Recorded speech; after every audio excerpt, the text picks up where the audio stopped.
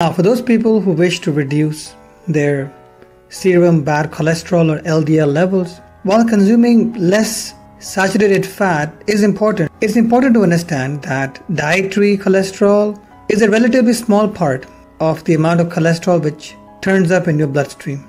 There are many factors. Remember that cholesterol can be synthesized by every single cell in your body. Factors within your liver decide on the amount of cholesterol receptors there are on the surface, which then suck in cholesterol from the bloodstream, and factors within your gut, your Niemann-Pick receptors, your gut microbiome can modulate that. Also, decide how much of the cholesterol in your gut, whether this is dietary cholesterol or recycled cholesterol, which is being pulled away from the bloodstream into the liver, into the bile, and back into the gut, gets reabsorbed. So you could say that cholesterol is mediated at four main levels. One is familial, genetic, which you can't really have much control over, but others being your diet, your liver health, and your gut health, particularly gut microbiome health.